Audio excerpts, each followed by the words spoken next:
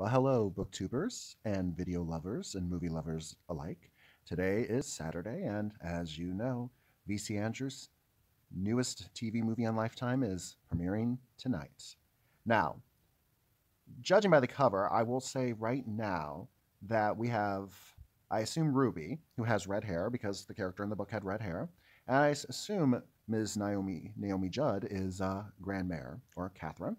So I see we have a cast, and at least it's good that we have redheads playing grandma and granddaughter, so pretty good. Um, like a good cover. I don't know if it's a World Movie Series event. This will be because this is Lifetime after all, and based on what they did with the Dollanganger and the Casteel series, remains to be seen if they're going to be accurately going to capture this movie. I'm guessing that this movie was filmed in Canada, probably because more, how do I say this, more COVID restrictions. You know, it's cheaper you know, it's more protocols were in place, whatnot. Even though the movie and the books took place in Louisiana, and quite frankly, I think I don't think you can really capture the true essence of Louisiana in Canada, but we shall see. So, anyways, I'm going to go through each of the cast and determine, just based on the drawings rendered on the cover of the book, if by looks it's going to work or if I think that they can accurately capture the essence of the character from the book or not. So, without further delay, let us go with the first one. In three, two, one. And we have on the right the actress that is playing the title character Ruby. And on the left, this was the rendering, in my estimation, of who Ruby was, because when you look at the original cover, her face is what appears. Now, the actress who's playing her is named Raechelle Banno. So, I don't know much about the actress, although she does have actual acting experience, so that's a good sign. Um, yeah, I could kind of see that. She's kind of got the very innocent, very timid look, um, and everything like that. And she does kind of actually have the likeness to the character, at least the image that I've had in my mind since I read the book many, many moons ago. Um, based on seeing the previews and everything, I don't know if she's going to have the essence of what I envisioned Ruby to be, but I definitely do think, just based on the look alone and the stance and everything, I think that they got it right casting for once. If we looked at Heaven, um, the lead character from the Casteel book, Heaven, number one, had red hair, even though the character in the book had long dark hair and flower blue eyes. So at least they have the physical attributes correct. Let us move on to the next character. Three, two, one. And we have Ruby, the title character's twin sister, Giselle. On the left is the original artist rendering, although in the artist rendering, it looked like she was shorter than Ruby. So were they identical, or were they like the Olsen twins and looked that were fraternal that looked alike.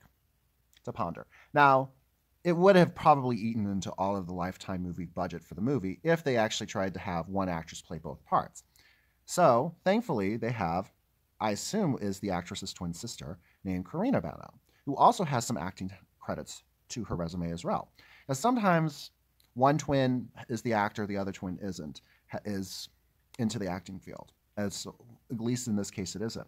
Now, I will say she's got the red hair, and definitely, just based on this picture, she definitely has Giselle's uh, haughtiness down. Um, does not have the timidness of Ruby. Um, so definitely, I do see, just based on the look and the essence, she does have it captured perfectly. So just by looks alone, I'm looking forward to what she will bring to the movie. And I'll discuss when I did my book review, I discussed how there was some potential that was set up greatly in the book that didn't get follow up on. Giselle is the other character. But I don't want to spoil it, but my personal opinion, Giselle was set up perfectly in the first book and is not fully realized in future books. So that's all I have to say about that. And on to the next one. Three, two, one. And of course, we wouldn't have a VC Andrews story without some lo- some lovelorn love interest of the lead character. This is Paul. Now, as you can see on the left rendering, he looks very pensive, very sensitive, very much in love with Ruby. For obvious reasons, and I don't want to spoil it, they cannot be together. Um, but if you can look on the right, uh, I believe his name is Sam Duke. Looks perfectly who I imagined Paul to look like. And if you look at the artist rendering on the left and on on the actor, I actually think just by looks perfectly cast. Now, I do see Paul. It looks at least the actor Sam Duke has a very intense look, and of course, you know, in the book series, you know, Paul isn't accepting of Ruby not being with him So I can see a little bit of intensity and determination. And this looks like just from this picture alone, the actor per- perfectly conveys that, in my personal opinion. And on to the next one. Three, two, one. And of course, in VC Andrew land, it's not possible to only have not only one male lead, but another male lead. This one is Beau, who has known Giselle for pretty much their whole life, and basically because of obligation, they're together.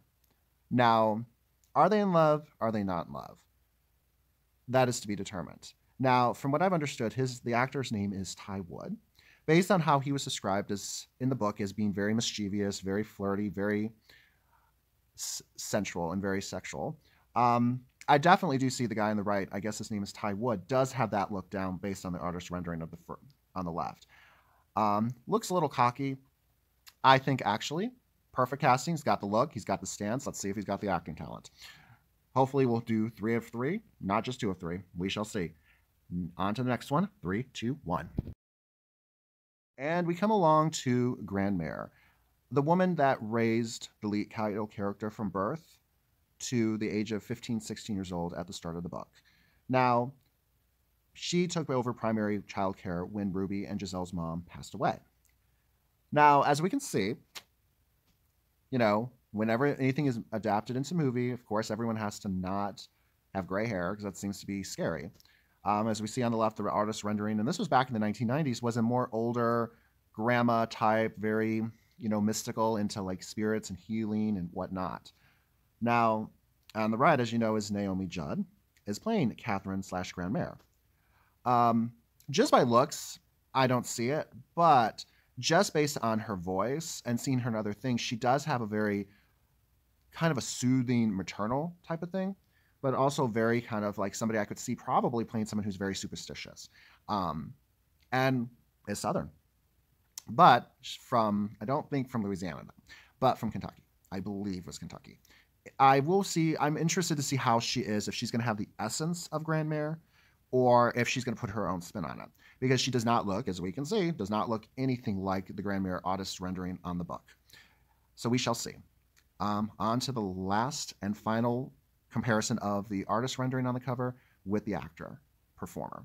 In three, two, one. And here we have who I always believed was Daphne.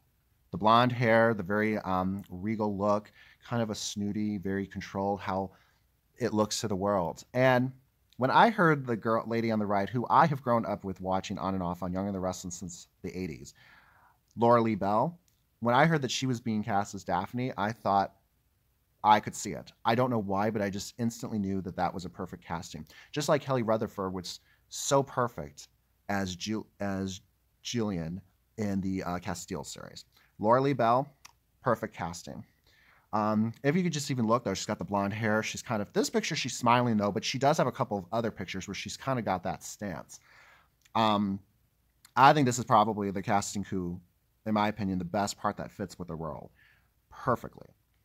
Now, I'm interested to see if she's going to just play Daphne as just an over the top villainess, or if she's going to play her more like how it was in the book, which was a lot more underhanded, more about appearance, and you know, very controlled, trying to keep her emotions in. But seeing Ruby brings back, in my opinion, the affair that her husband, played by in the movie Gil Bellows, had with Ruby and Giselle's mom. And the one thing I've read in the synopsis is, is that she uh, they're keeping the appearances means everything, and that Giselle knows how to do it. Ruby, not quite so much. Or is that the case? Or is that the opposite? We'll have to tune in. Already, just from the look and seeing her acting on and off for years on Young and the Restless, perfect casting. Perfect, perfect casting. Now, there is um, a couple of other key roles in the book, in the story. One played by Crystal Fox uh, from originally in The Heat of the Night, but it's also on The Have and the Have Nots. And uh, Gil Bellows from Ally McBeal um, is playing the father, the husband that cheated on Daphne, and is the father of Ruby and Giselle. Now, I don't have an artist rendering of him to do a compare contrast, so I'm going to end it here. But I do look forward to the movie tonight, and I'm excited to see how it turns out. Fingers crossed it's going to be deliciously trashy fun which we all need in this day and age. Peace out.